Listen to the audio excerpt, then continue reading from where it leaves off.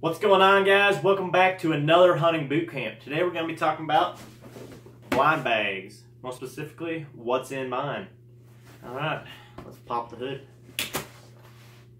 I guess we'll start on the top of it here. So you can see, got this clipped, little soft, soft case. This is what I keep my cameras in. Got my GoPros, got my mic up here, extra batteries, mem cards, all that good stuff. That goes on the top of my bag and then I can just take it off or leave it there. So we get in the bag here. Start at the top part here. So right here, this is my duck journal. Uh, I've been doing this, I don't know, probably six years, seven years now. In it, I write, you know, I write location, the date, uh, number of birds seen, bat, birds bagged, um, total for the year, just kind of the weather, and then I can enter it in in a, in a program later on and kind of follow the migration, see you know see what years and what weather patterns work for different species and just birds in general. Moving on, game carrier. These are really helpful where when you got to pack in a long ways. You know, when I take my kayak, not that big deal. I can just put the birds in the kayak. But when I'm walking or somewhere, you know, you can just keep, it's a good way to keep all your birds together. So there's that. Nebraska rule book or any state rule book, depends where I'm hunting, I guess, but this is the one I have from last season. It's just got, you know, guides, regs, all that stuff for the different species of waterfowl, season dates, stuff like that. All right. So, we'll go front part hot hands. I don't always have these in there. You know, early season don't need them, but late season, these are nice. Keep make make staying out all day a little better.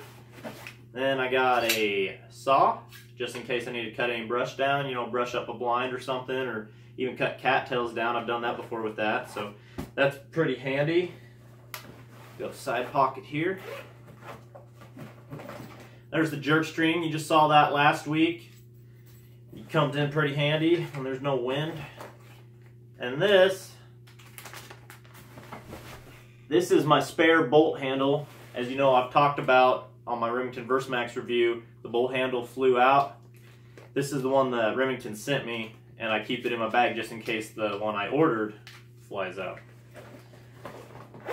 So that's all the side pockets and all that stuff. Now we'll get into the good stuff here. So here, this is one of my GoPro clamps with a battery pack. This is for my Hero 5 Black GoPro. There's that one. And then this is the one I put on my head. It's got a six hour battery pack.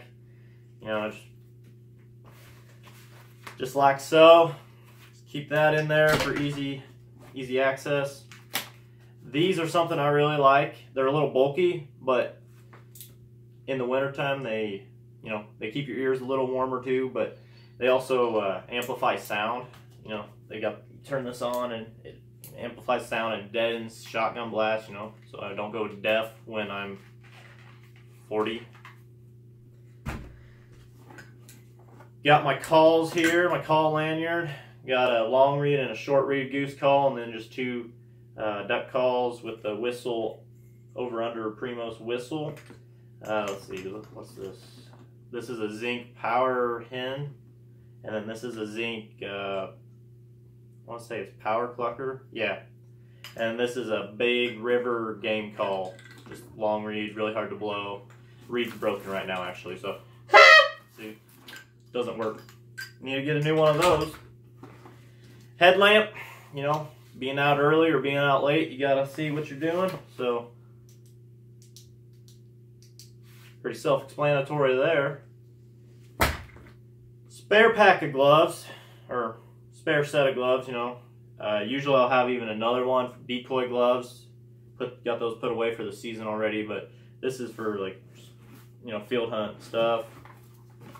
Boxes of shotgun shells. Right now I got BB in. This is from goose season still. Uh, it varies from four to two to BB depending on what time of the year it is and what I'm shooting at or, you know, going after. And finally, binoculars. You know, you got to check out the birds coming in or, you know, what's off in the distance. And that is what's in my blind bag. I guess I probably should also mention what kind of blind bag this is. This is a banded blind bag. I'm not sure of the exact model. I'll try to find it online and put a link in the description. Check out that. I'll also link, you know, all this stuff in the description too so you can find out exactly what I use. And if you want to go get some yourself, let me know if you want to hear a review about any, any certain product I use. I'll be more than happy to do one of these in the future for them.